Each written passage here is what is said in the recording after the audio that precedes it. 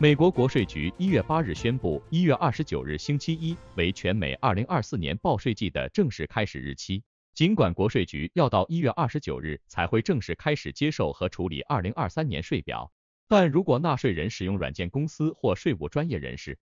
则不需要等到那时才开始。例如，大多数软件公司接受电子报税，然后保存税表，直到国税局准备好在本月晚些时候开始处理。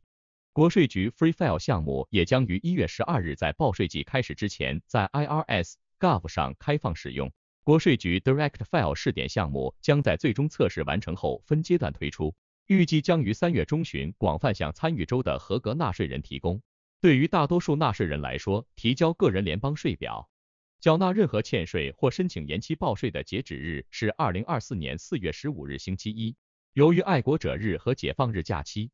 居住在缅因州或马萨诸塞州的纳税人的报税截止日为二零二四年四月十七日。如果纳税人居住在联邦宣布的灾区，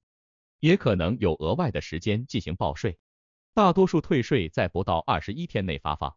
许多人从二月二十七日开始可拿到低收入家庭福利优惠退税。美国联合航空公司一月八日表示，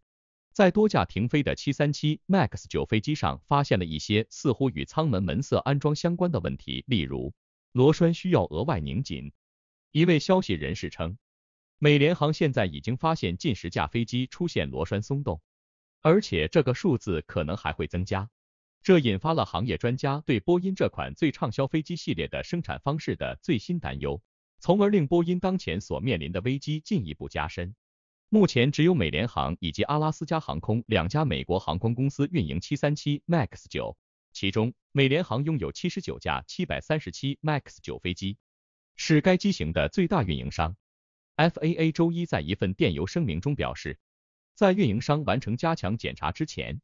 波音737 MAX 九飞机将继续停飞。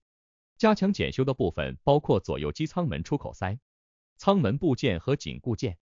除美国外，印度尼西亚、土耳其、墨西哥和巴拿马等多国航空公司均已宣布暂时停飞该机型飞机。